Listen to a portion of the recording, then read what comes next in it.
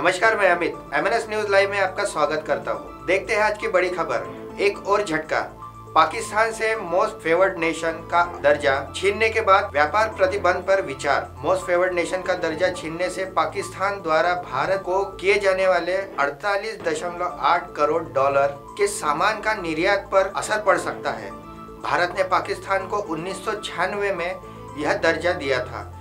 लेकिन पाकिस्तान की ओर से भारत को ऐसा कोई दर्जा नहीं दिया गया। जम्मू कश्मीर के पुलवामा में आतंकी हमले के बाद भारत ने सख्त कदम उठाते हुए पाकिस्तान से व्यापार में मोस्ट फेवर्ड नेशन का दर्जा वापस ले लिया है। सूत्रों के मुताबिक, भारत सीमा शुल्क में वृद्धि, बंदरगाह से जुड़े प्रतिबंध और पाकिस्तान से आयातित वस्तुओं पर प्रतिबंध जैसे कठोर कार्रवाई के करने पर विचार कर रहा है।